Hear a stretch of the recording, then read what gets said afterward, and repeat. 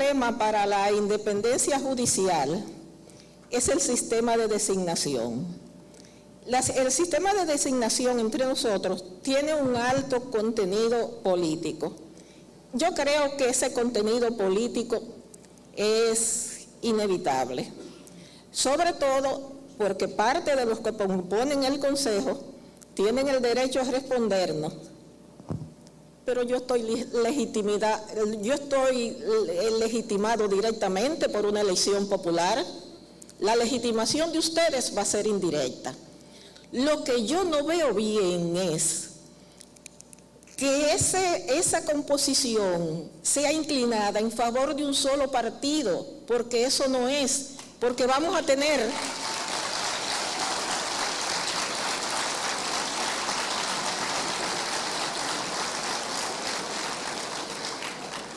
hay que buscar, hay que buscar el necesario equilibrio político. Edith Febles, la cosa como es. Eran las palabras de la magistrada Miriam Germán en la cumbre judicial, la cumbre del Poder Judicial que se realizó en República Dominicana hace casi tres años. Son imágenes que hemos capturado de la página del Poder Judicial, donde además sobre la independencia del Poder Judicial se expresaron miembros de la Suprema Corte de Justicia de Panamá y también de Puerto Rico. Un poco más adelante se lo compartimos porque hoy tenemos ese tema como uno central y nos acompaña para hablar de eso el ex juez de la Suprema Corte de Justicia, Julio Aníbal Suárez. Aprovecho para saludarles a todos ustedes, a los buenos días, gracias por estar aquí. A los que están, por supuesto, a través de Teleradio América 45 o 12, dependiendo su señal de cable, a los que están en Estados Unidos, en Canadá, en Puerto Rico, en Colombia, e incluso los que están en Alemania. Hay muchos países porque eh, yo voy a mostrar esa página, tengo que mostrarlo en el canal de YouTube, cómo se ve la gente que va entrando. Una gente que yo quiero que me escriban son los de Eslovenia. O sea, ¿qué hacen los dominicanos en Eslovenia? Escríbanme porque de Eslovenia yo tengo alguien, algunas personas que entran diariamente a este canal. O sea, todos los días al final del día en las estadísticas, ahí aparece Eslovenia con 0.8. Así que muchísimas gracias a todos los que están en sintonía y comparten el contenido eh, que obviamente hacen de este un canal cada vez más grande. Ya cerquita de los 20 mil estamos. Sí, y del millón trescientos, para que sepan. No por nada, ¿no? Venimos de una vez con ustedes. Eh, hoy, además de tener a Julio Aníbal Suárez, la gran pregunta, Carolina Santana se la formuló a Faride Raful, diputada de este país.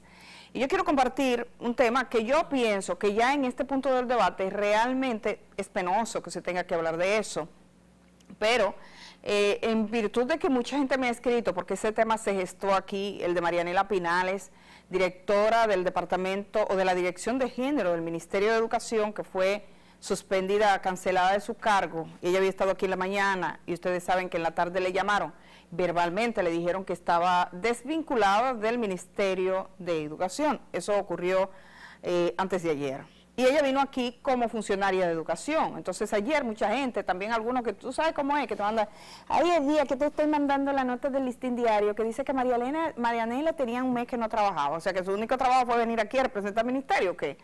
Entonces Marianela le contestó al listín diario, sí, porque te lo mandan como que yo iba a ir a ver la nómina de, educación, yo no, podía ir a ver la nómina de educación, yo llamé a educación y me mandaron una funcionaria y era ella. Entonces miren ustedes, ahí está Marianela. Marianela mandó estos esas fotografías porque ella estuvo en diferentes actividades internacionales incluso durante el mes de marzo, mandó, mire, representando a la República Dominicana, ahí está la, la semana, cómo las organizó. Pero lo más interesante de eso es que Marianela me ha mandado, y le pueden dar hacia adelante, por favor, a las fotografías firmadas y selladas por el ministro de Educación actual. O sea, donde él autoriza que salga del país, donde le pide, yo lo mandé antes a ver, porque eso es fundamental, porque si no tenemos la del ministro, eso no tiene caso. Yo mandé las hojas del ministro de Educación, esas son.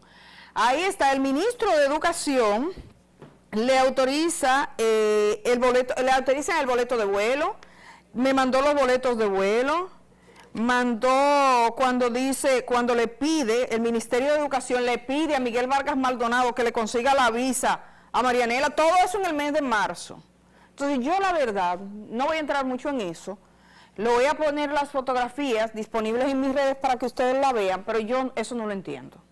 O sea, decir que Marianela no trabajaba cuando una cosa que tú la puedes documentar porque estaba educación gestionando su visa, Cancillería tramitándola, él, eh, autorizándole un viaje, autorizándole designaciones. Tengo siete documentos firmados por el ministro de Educación, entonces eso no tiene sentido.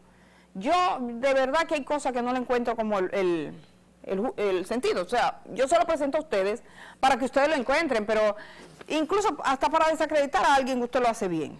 O sea, no, no entiendo. Yo de verdad que no entiendo. Por eso hablé con el vocero del Ministerio de Educación el día de ayer y yo le pregunté, ¿usted está seguro? Me hubiese gustado hablar con él, se lo decía al final, creo que no leyó el mensaje último.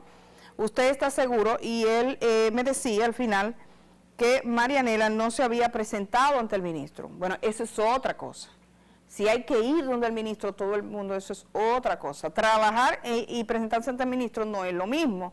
Insistí en la pregunta del trabajo y ya no volvimos a hablar.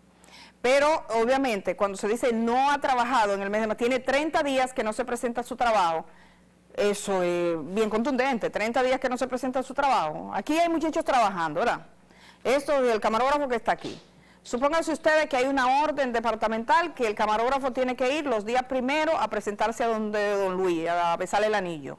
Y no fue, pero viene aquí. Bueno, pero él vino a trabajar, que no fue a, lo del anillo otra cosa. Entonces, yo me quedé enredada ahí y como eso es cuestión de ellos, la verdad que mucha gente también pregunta, yo creo que en el Ministerio de Educación hay un pulso en este momento y uno lo nota en las declaraciones ayer publicadas por el Caribe del ministro que encontró, dice, un gran desorden. Entonces ese es otro tema, aclarar qué era lo que pasaba, qué fue lo que pasó y le toca, por supuesto, a mí me parece, al exministro eh, Andrés Navarro también explicar su asunto, que de eso no sabemos nosotros nada, pero evidentemente en el Ministerio de Educación han pasado tres gobiernos en el gobierno de Danilo Medina. Tres gobiernos han pasado. El gobierno de Amarante, el gobierno de Navarro y el gobierno de este ministro. Son de gobierno en gobierno. Y es como cuando pasaba los reformistas, venían los periodistas y barrían, se van los periodistas y vienen los periodistas y barren, entra igualito. Pero es en el mismo color, pero son tres gobiernos. Yo me voy a la pausa, regreso de una vez, hablando con Julio Aníbal Suárez.